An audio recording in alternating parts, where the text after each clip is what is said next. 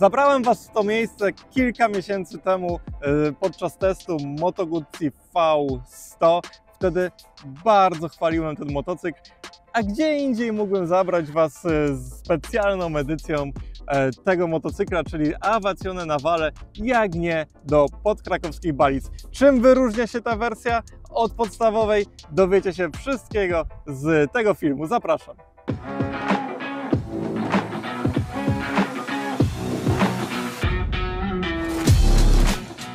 Moto Guzzi Fausto Mandello to motocykl, który od pierwszych kilometrów kojarzył mi się z lotnictwem, z awiacją. To w jaki sposób on się prowadzi, w jaki sposób wchodzi w zakręty, e, w jaki sposób oddaje moc. To wszystko jest bardzo lotniczym doświadczeniem.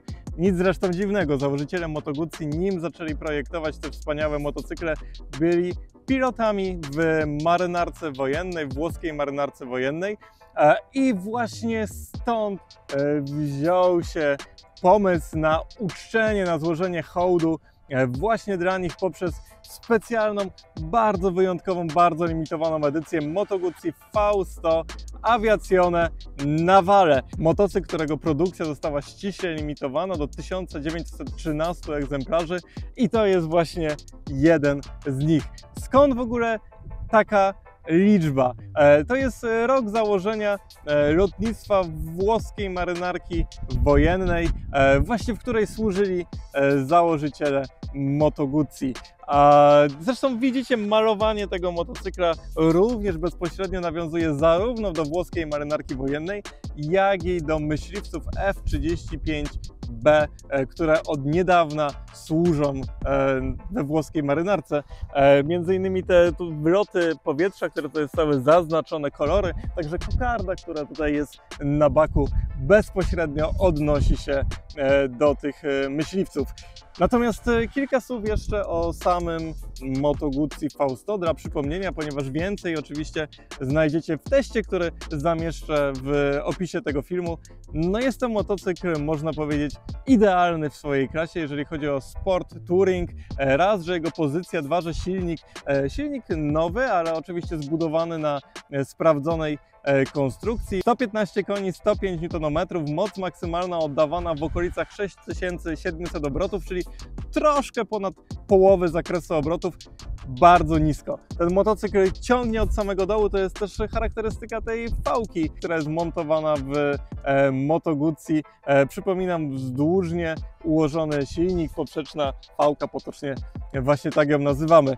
E, motocykl, który jednocześnie jest dopieszczony, jeżeli chodzi o zawieszenie, e, dopieszczony, jeżeli chodzi o hamowanie. Mamy tutaj zaciski e, Brembo. W przypadku wersji S adaptacyjne zawieszenie od Olinsa.